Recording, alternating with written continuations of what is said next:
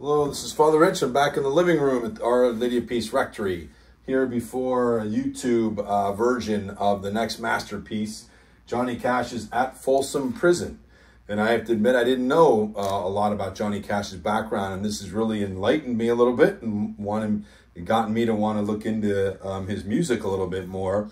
But this is from uh, 1968. They talk about how it was really uh, a moment when Johnny Cash's uh, career was kind of uh, in the decline. Um, he had been wanting to do um, a uh, an album in the prison and a concert, and finally Columbia Pictures uh, signed off on it. Um, he uh, he did it. Let's see here. The the the uh, Carl Perkins and the Statler brothers opened before him, and then he took the stage and did the did the concert. Started out with Folsom Prison Blues, which um, is is you know obviously the connection to the prison why he wanted to do it at this prison because he had written a famous song about that. But then he he sang every song he knew about uh, prison imprisonment and crime um, and obviously connecting with the inmates in a very real way. There was a thousand inmates there for the concert.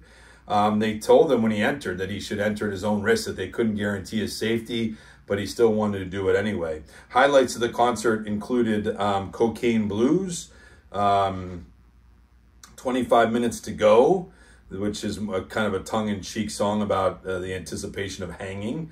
Uh, so kind of very, you know, real stuff for these guys. The sentimental ballad, Send a Picture of Mother, and then June Carter, who would soon become his wife, would then join him on, on stage for a stomping, steaming rendition of their famous duet, Jackson. Um, so just, and it says they got a great response from the inmates. Uh, the the album was an instant classic and success. It rejuvenated Cash's career and really um, had a big impact on him moving forward. Uh, so they tell the story about how he was born in 1932 in Arkansas um, and how he actually grew up uh, working in the fields, the cotton fields, and picking cotton, singing songs. That's where he came to know his love of singing. Uh, started writing songs at a very early age, even as young as 12 years old. Um, and then he met, uh, he got married at a young age, met a few guys, Luther Perkins and Marshall Grant. They started kind of tinkering with playing guitar together in their garage at night. Eventually, one did the, took on the bass, one took a um, electric, I think, and then he stayed with the acoustic maybe, or maybe whatever. But they ended up finding the song that then would become kind of connected to Johnny Cash and the songs that he would sing. Um, they kind of talked about how he kind of was in the, he was kind of the, a, a rebel. He kind of had that reputation, anti-authority. Um, he kind of was in the country genre, but not really country.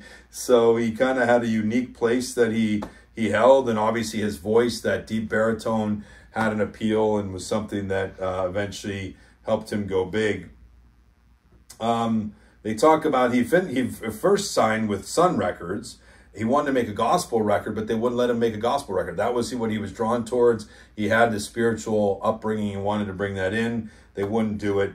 But um, they they said you know they wanted them to come back and bring some music that was not religiously focused and so they eventually wrote the, the hit songs Hey Porter, Cry, Cry, Cry, um, and then things like Folsom Prison Blues, I Walk the Line, etc. Um, so he eventually moved to Columbia Records because he found that he wasn't doing as well as Jerry Lee Lewis, who was one of his kind of contemporaries. And then they would finally let him write uh, a gospel um, album, which he was excited to do. Um, but then as his career took off and the stress increased, he got involved in drugs, uh, mainly, uh, I think they said amphetamines and barbiturates. Um, and so that kind of, he became addicted to those things. That had a negative impact. He became less dependable. He was kind of all over the place.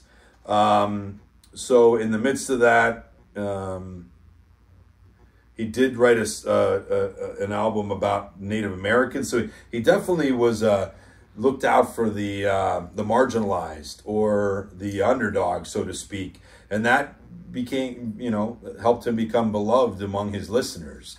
Um, but he did, I think it was called Bitter Tears about Native Americans. Blood, Sweat, and Tears, a tribute to the working man, um, as, as well as recording some big hits like Ring of Fire and Jackson. Um, but again, his, his personal life, his marriage was kind of coming, was falling apart in the late 60s. The drug addiction, um, everything was kind of catching up to him. And it was in the midst of this um, that he actually went caved, um, caving, spelunking, and they say that he had he actually had the intention of dying. He wanted to go into the cave, get lost, and die where nobody would find him because he was struggling so much. He had kind of a um, a moment in the midst of that. What do they say? A God moment in which he felt the presence of God. Um, and he felt, he realized he had been running from him for many years. He suddenly understood that God still loved him, wanted him to live. He struggled to his feet, somehow made his way out of the, the prison, eh, or excuse me, out of the cave. And kind of that was a big part of re energizing him to get his life together, to kick his drug habit, to uh, marry the woman who had been by his side this whole time and really um, was a rock for him, June Carter, etc., etc. Um, and then, of course, he did this uh, at Folsom Prison, 1967. He did an even bigger, had a bigger follow, uh, successful follow-up at San Quentin in 1969. So everything he got had a huge renewal in the late 60s uh, to the point where they say in the 70s he actually his his career became bigger than even what he was before things had started to decline. He had his own TV show, The Johnny Cash Show, um, friends with Bob Dylan and Neil Young. Um, kind of got us got well known as wearing all black. He said he wore that black, which I, I love the idea, even with the clerics. Um, he said that it was in order to um, he wore it in, on behalf of the poor, the hungry, the prisoners, the recovering addicts, and the overlooked and neglected.